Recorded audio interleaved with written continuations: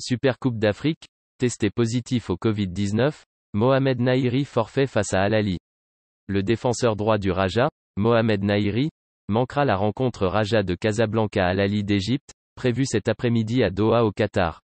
Le joueur testé positif au Covid-19 a quitté l'hôtel où séjournent les joueurs. Il devra passer des tests supplémentaires pour s'assurer effectivement qu'il est positif. Cette absence constitue un coup dur pour l'entraîneur belge du Raja, Marc Wilmots, qui devra lui trouver un remplaçant.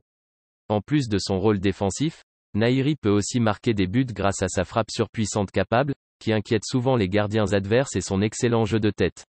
Pour information, le Raja tentera cet après-midi de remporter un troisième titre de la Supercoupe d'Afrique après ceux de l'année 2000 et 2019 et surtout mettre fin à l'hégémonie des clubs égyptiens sur cette compétition.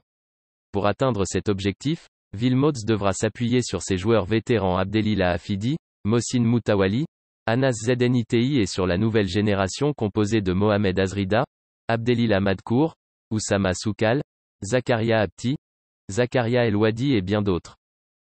Les Égyptiens détiennent le record du plus grand nombre de titres de Supercoupe de la CAF, ayant remporté 7 des 9 finales qu'ils ont disputées, dont la dernière qui s'est tenue en mai dernier.